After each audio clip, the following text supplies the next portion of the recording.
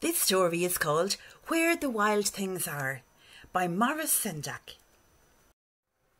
At the end of this video, we'll do a book review. This means we'll say what we think about the story.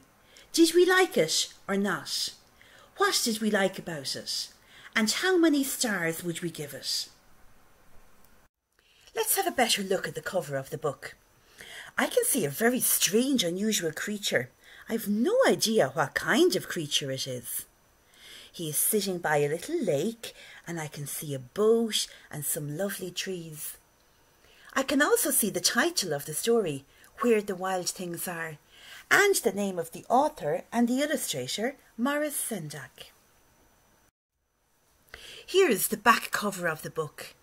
It's unusual because it doesn't have a blurb written on it, so we've no clue about what is going to be in the story. We'll have to read it and find out.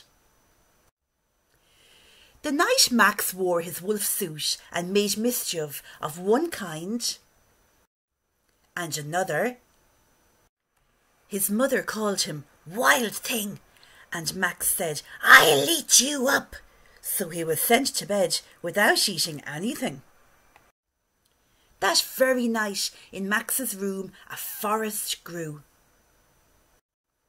And grew and grew until his ceiling hung with vines and walls became the world all around.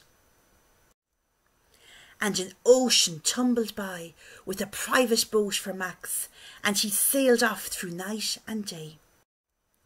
And in and out of weeks, and almost over a year, to where the wild things are.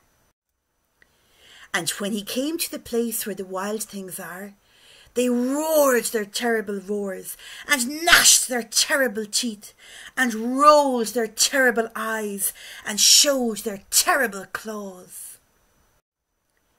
Max said, Be still, and tamed them with the magic trick of staring into their yellow eyes without blinking once. And they were frightened, and called him the most wild thing of all and made him king of all the wild things. And now, cried Max, let the wild rumpus start.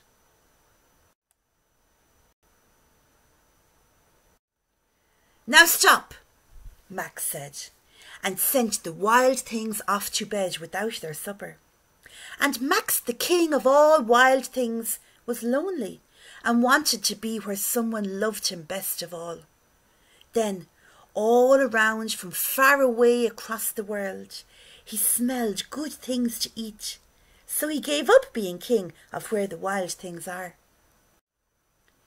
But the wild things cried, Oh, please don't go. We'll eat you up. We love you so. And Max said, No, the wild things roared their terrible roars, and gnashed their terrible teeth, and rolled their terrible eyes, and showed their terrible claws. But Max stepped into his private boat and waved goodbye. And sailed back over a year, and in and out of weeks, and through a day. And into the night of his very own room, where he found his supper waiting for him and it was still hot. The end.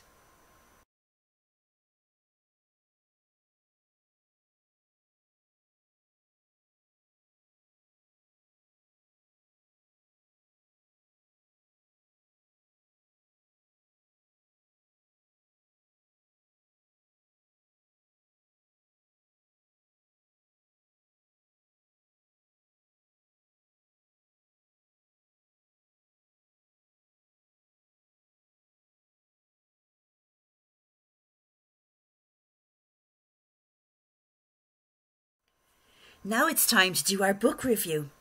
Remember, I asked you at the beginning of the book to really listen out for the words and look at the stories to help you do the book review at the end. So, the first thing is how many stars would you give this book? Maybe you'd give it the full five if you really liked it, or maybe you think it only deserves one or two stars. Would you recommend this book to a friend?